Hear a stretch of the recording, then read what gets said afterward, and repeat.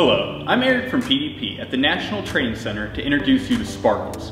This streak-free glass cleaner has been a popular favorite of professional detailers for two decades.